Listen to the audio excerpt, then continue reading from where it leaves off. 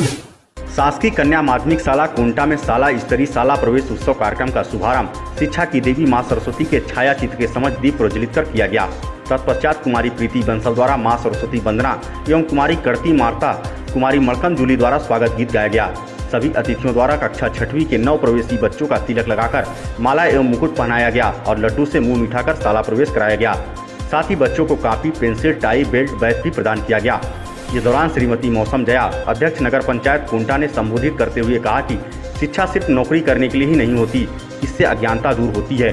शिक्षा हमारे जीवन के लिए बहुत आवश्यक है। वहीं जाकिर उपाध्यक्ष नगर पंचायत कोंटा ने कहा कि यह संस्था विकासखंड कोंटा की इकलौती अंग्रेज़ी माध्यम सीबीएसई पाठ्यक्रम से संचालित शासकीय संस्था है।